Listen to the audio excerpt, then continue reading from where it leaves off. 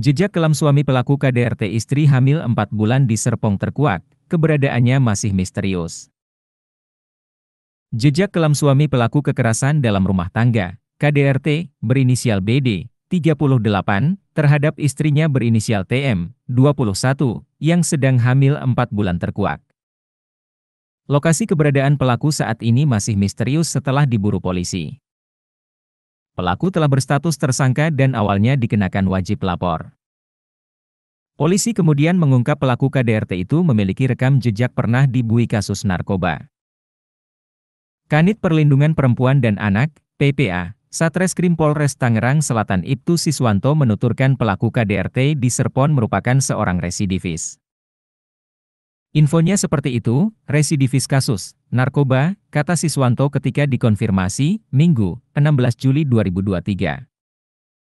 Siswanto menuturkan pihaknya masih memburu pelaku. Namun, ia tak menjelaskan alasan tersangka hingga kini belum tertangkap polisi. Belum dapat ditangkap, katanya. Ia lalu menjelaskan alasan pelaku KDRT tersebut tidak dilakukan penahanan sebelumnya. Hal tersebut berdasarkan pasal 44 ayat 4 UPKDRT yang menyebutkan bahwa peristiwa itu tidak menimbulkan halangan untuk menjalankan mata pencaharian. Adapun bunyi pasal 44 ayat 4 UPKDRT sebagai berikut. Dalam hal perbuatan sebagaimana dimaksud pada ayat 1.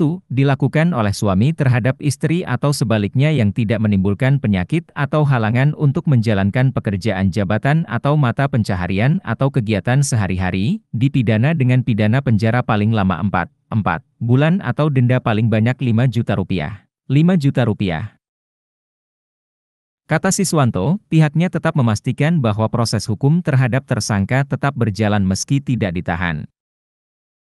Statusnya tetap tersangka, proses hukum itu tetap berjalan, ucapnya.